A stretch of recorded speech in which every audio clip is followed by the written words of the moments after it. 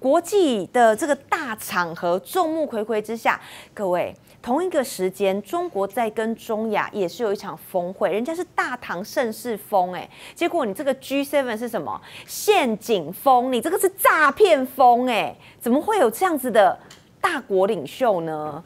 将军，这个泽伦斯基去参加 G7 会议哈，我要替我们蔡英文打抱不平，因为这是 G7，按理说你是七大先进工业国家会议。你讨论的议题应该跟全球重大的经济议题有关，嗯，怎么样怎么样降低气全球的这个暖化的问题，对不对？怎么样充分全球各大工业国的经济供应链，或者是你们这些已经开发的经济中国家，对于一些低度开发国家，怎么样来提供协助，来降低这个暖化的效果？但你弄了半天，就两个主轴，一个是抗俄，一个是台海问题。抗俄，你把泽伦斯基找去了。那台海问题，你为什么不找我们蔡英文？所以我替我们蔡英文打抱不平。将军这个讲讲到位了，对啊，你们不都在谈台海吗？对啊，你应该找蔡英文去。我们蔡英文也要参加。这不再不然赖清德也要找嘛？对嘛，神秘嘉宾嘛，对不对？对对对，以嘉宾的身份出席。但是哦，各位你不要看啊，这时候泽伦斯基突然去哈，这些国家，你不管是印度跟或者巴西哈。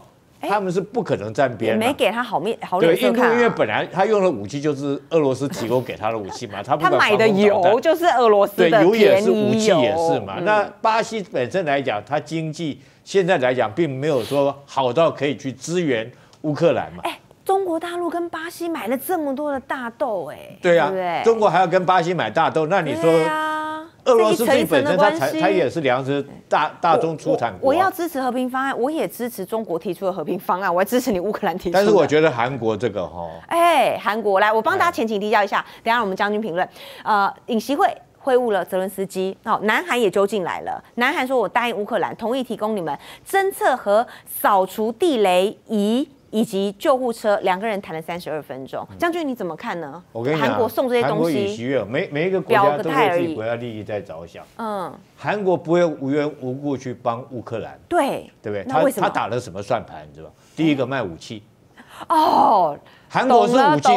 各位，你们知不知道？其实韩国有很多武器很好啊，他自走炮，他的战车，他现在自制的飞机号称小型的 F 十六哦。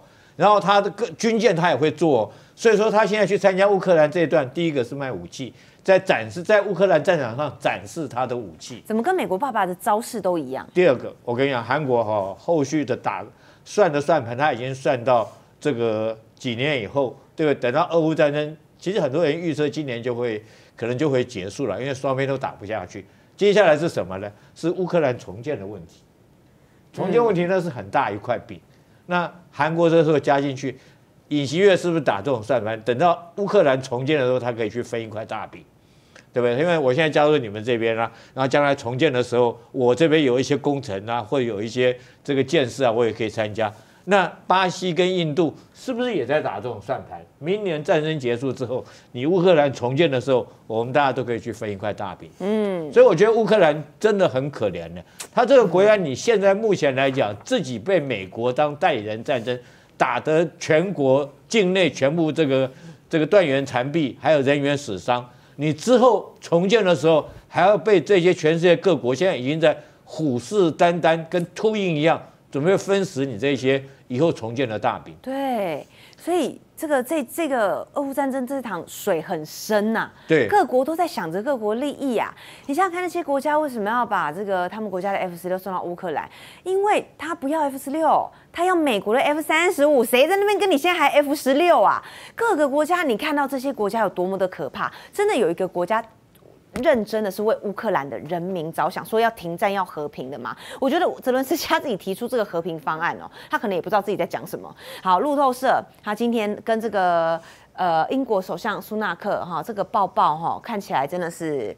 哎，不不不想置评了。路路透社说，泽连斯基跟苏纳克见面时互相拥抱，在媒体被请出场外之前，两个人是坐着交谈。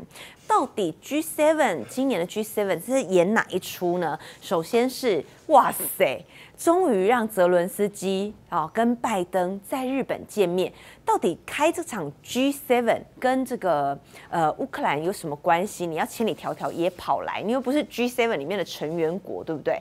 好，那来了之后呢，向世界，因为媒体会关注嘛，向全世界演了这么一出戏啊，感谢拜登的力挺，我们非常感谢，我们永远不会忘记，因为美国又说了。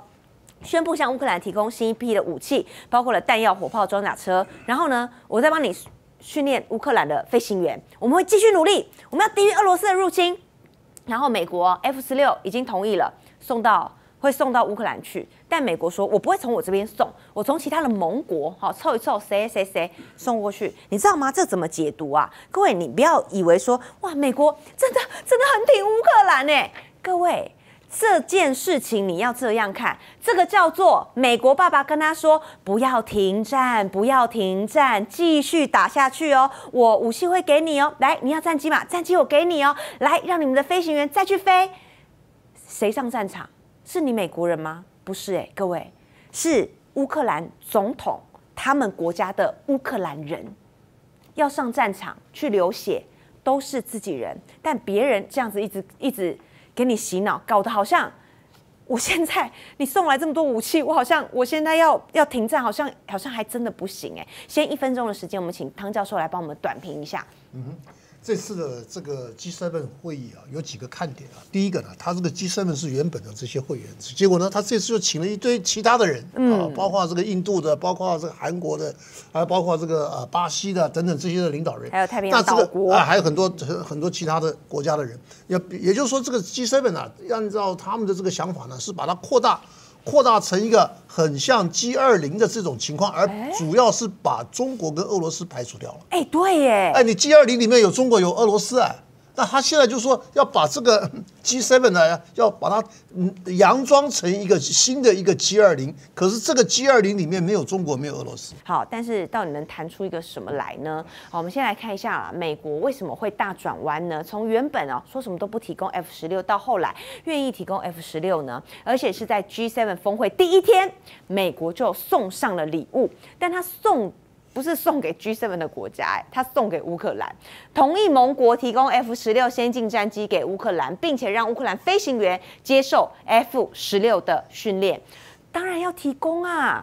你在帮我消耗我的死对头俄罗斯，哎，我当然要把你变得更强啊！我不用自己打，啊你跟他打，在旁边看。武器也卖给你，而且别的国家顺便卖，像将军讲的一样，卖的更多。拜登对于援乌海马斯、爱国者飞弹、艾布兰战车都是先拒绝，然后呢，在欧洲盟国的压力下改变。